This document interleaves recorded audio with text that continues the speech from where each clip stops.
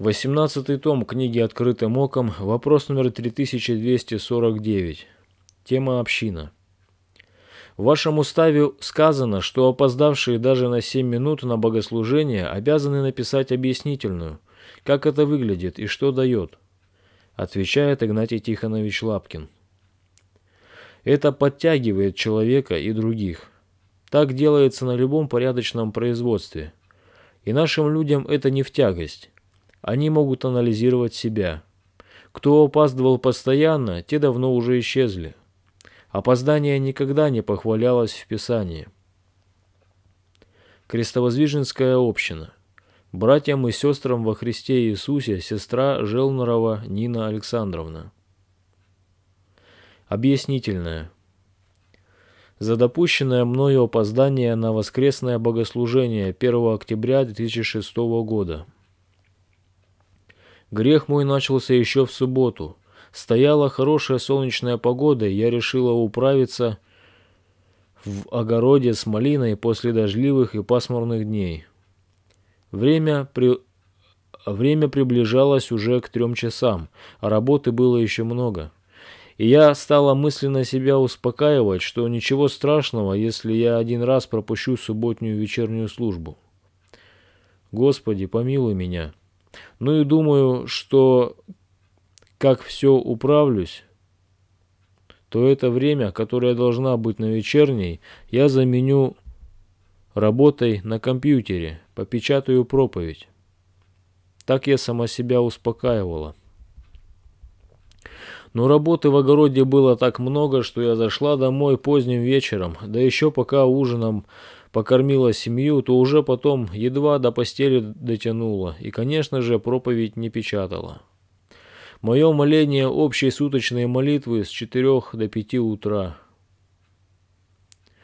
Община молится круглосуточно, и у каждого члена общины свое время по договоренности. Я кое-как проснулась без 15.5 и молитву сотворила кое-как коротенькую. Господи, помилуй, чувствовала себя нисколько не отдохнувшей.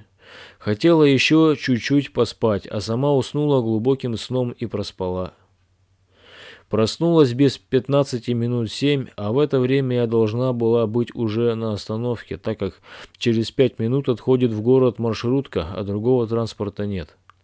Собралась я очень быстро, но опоздала на автобус и пришлось ехать другим маршрутом, в круговую через весь город, так как я живу далеко, поэтому опоздала, прибежала, когда уже начиналась служба. Открывал ворота мне Миша. Прости меня, брат, что я оторвала тебя от молитвы, отвлекла и других, пока заходила, пока вставала на молитву, да и звонком всех побеспокоила.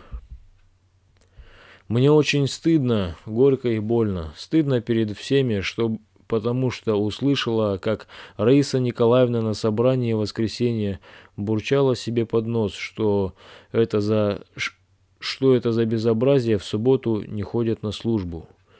А я-то ведь тоже попала в число таковых. Я ничего не сказала, но ее слова пронзили меня. Мне очень стыдно, да и сказать-то нечего. Я виновата. Это одно потянуло за собой так много, и грех с маленького, как снежный ком, накрутился. И дома ничего хорошего не было. Я в напряжении прожила всю неделю, грех меня увлек еще дальше.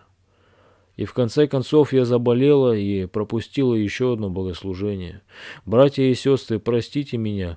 Господи Иисусе Христе, помилуй меня грешную Нину, рабу Твою недостойную. 14 октября 2006 года. Смотрите ее обращение, том 15, страница 78. Послание к, евре... к евреям, 4 глава, 1 стих. «Посему будем опасаться, чтобы, когда еще остается обетование войти в покой его, не оказался кто из вас опоздавшим». Книга пророка Иеремии, 46 глава, 17 стих. Он пропустил условленное время –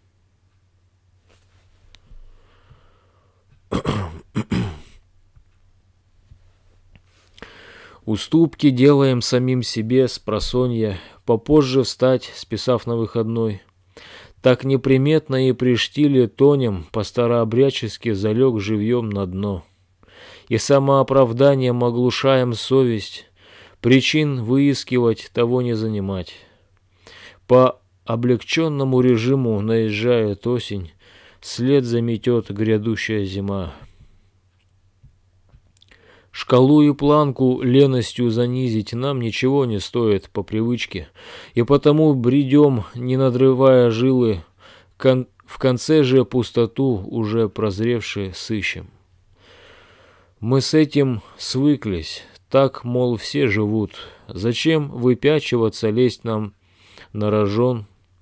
Так и жует навоз рогатый жук, безверием тяжким с детства поражен пустопорожние без страха пересуды.